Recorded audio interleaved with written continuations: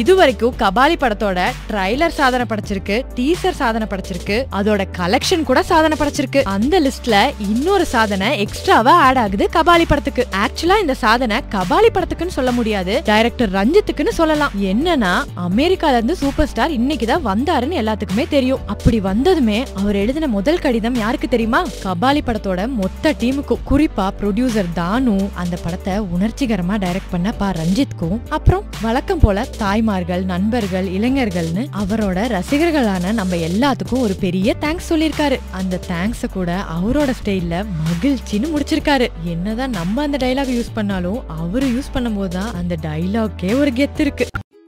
Telugu actor நாக சைத்தன்யாக்கும் சமந்தாவுக்கும் ஒரே லவ்வாமே அப்படின்னு rocket வேகத்துல ஒரு நியூஸ் எல்லார்கிட்டயும் பரவிக்கிட்டு இருக்கும் போதே இந்த ஈரெண்ட்ல இவங்க ரெண்டு பேருக்கும் என்கேஜ்மெண்ட்டாமே வீட்ல கூட பேசி முடிவு பண்ணிட்டாங்களாமே. அப்புறம் என்ன? அப்படின்னு அடுத்த நியூஸ் வீட்டுல எல்லாரும் கல்யாணத்துக்கு ஓகே சொல்லிட்டாங்க. ஸோ நோ கிளாமர் அப்படின்னு சமந்தா சொல்லிட்டாங்கன்னு அடுத்த